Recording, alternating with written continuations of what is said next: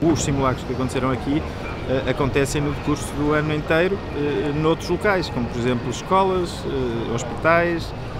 hotéis, porque isto requer, obviamente, em cenário real, requer treino. Nós não gostamos de, de utilizar o ditado casa arrombada, trancas à porta. E, portanto, gostamos que as pessoas percebam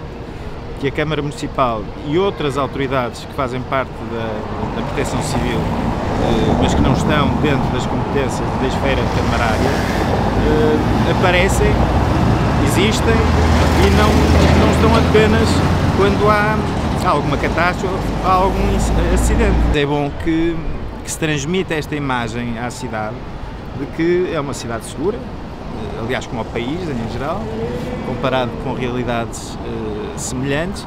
e portanto é uma iniciativa que pretende de facto sensibilizar as pessoas para, para, a segurança que a cidade tem, para os meios que a cidade tem e de facto é muito importante quando todos colaboram e aqui foi não só a Proteção Civil camarária, mas uh, enfim, muitas instituições de fora do universo da Câmara. Portanto, isso, quando há diálogo, colaboração, cooperação, as coisas correm naturalmente melhor. Em termos físicos, temos cerca de 200 eh, elementos que participam de, destes agentes de proteção civil. Temos, em termos físicos, 18 stands ou montras de agentes de proteção civil espalhados pela, pela Avenida dos Aliados e pela Praça Carlos Delgado, desde a Polícia, a GNR, ao Exército, ao Batalhão, à Proteção Civil, à Polícia Municipal, à Cruz Vermelha, ao INEM,